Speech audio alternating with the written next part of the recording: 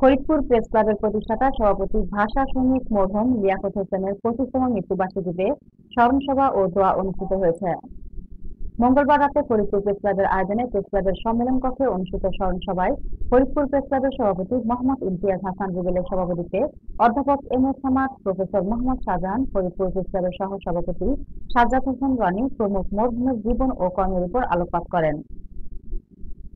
পরে দোয়া অনুষ্ঠানে মরহুমে বিদেহী আত্মার মাস্টারাত কামনা করা হয় ফরিদপুর থেকে সৈয়দ নাজমুল আলম পারভেজের পাঠানো তথ্যচিত্রে একাত্তর বাংলা নিউজ।